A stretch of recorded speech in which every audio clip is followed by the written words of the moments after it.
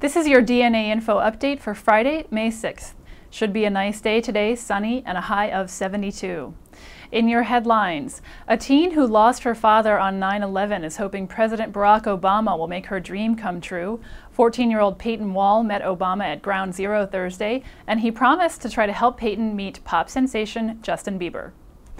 More than 10,000 daycare slots for low income kids that had been slated for elimination will remain open under a revised budget plan set to be announced Friday.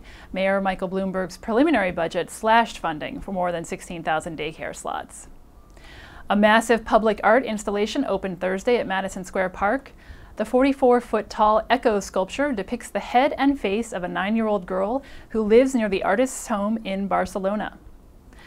Parks officials gave the gray seal that swam ashore in Washington Heights a clean bill of health on Thursday.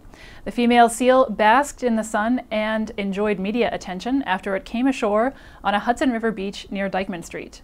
Those are your headlines. This video update was brought to you by Stuyvesant Town, no fee apartments in Manhattan's East Village. Love this town.